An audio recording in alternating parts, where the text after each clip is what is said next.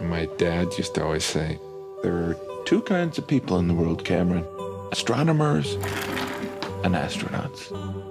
Some look at the stars, others swim in them.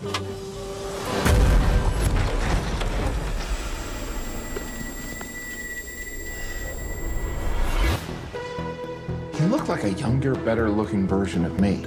You don't believe me, do you? It's a really crazy story, Ken. Tony, did you give the Saturday morning slot to another show? They want a different host. Kent Armstrong. I, I can't believe you crashed your car yesterday. I'm afraid I have no idea what you're talking about. He's like my antithesis. What? Some old ass Russian rocket fell from outer space and it crashed in our backyard. Welcome to Fairview Heights. You think this is just chance, all of this happening right now? You're a scientist. What else would it be? Can I see it? Sure. Come on. You've got this pile of rocket crap right here. Why don't you just build your own rocket?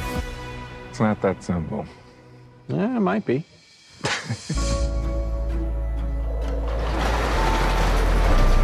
Remember when we used to talk about doing something fantastic? Whatever happened to that? I'm the only one who's even remotely rational anymore. Holy. You built this thing in like a month? Yeah. I'm about to do a test of the booster. You want to check it out? Three, two, one.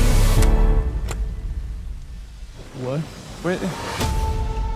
Einstein came up with a theory of relativity when he was 26. You go do what you're destined for. It's not that simple. It's not that simple. Not that simple. Why do you always tell yourself that? What are you doing? Something fantastic. The view is so great from out here, Cam.